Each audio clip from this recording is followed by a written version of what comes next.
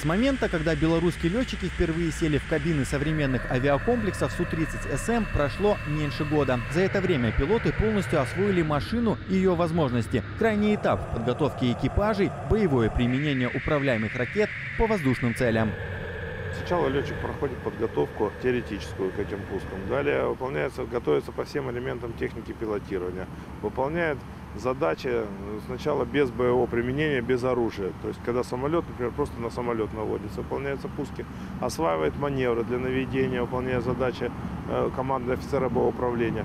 И только после этого, когда после того, как летчик все эти прошел этапы подготовки, э, выполняется конечный этап. Су-30СМ – многоцелевой истребитель. Один из лучших, если не лучший в своем классе. Боевая нагрузка машины почти 8 тонн в арсенале, средства воздушного и наземного поражения. Почти все вооружение летчики уже опробовали. Остались только ракеты «Воздух-воздух». Ракета ближнего боя.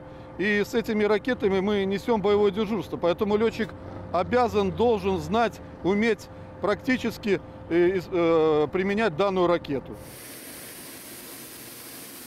После сброса мишени самолетом Як-130 на цель заходят пара истребителей. Пуск первого, а за ним и второго. 2.30, разрешил пуск. До цели 11. Да, 30 пуск выполнил. Раз, разворот левым. Расход одна, главное выключил. 21. Пуск. Мне необходимо было выйти на цель в заданное время и подготовить комплекс вооружения к пуску ракеты. Цель обнаружили еще где-то на дальности около 20 километров, работали где-то с 10. Комплекс очень хороший, все видно, э, можно обнаружить очень много целей на разных высотах, дальностях. Он выписывает э, параметры целей, параметры самолетов.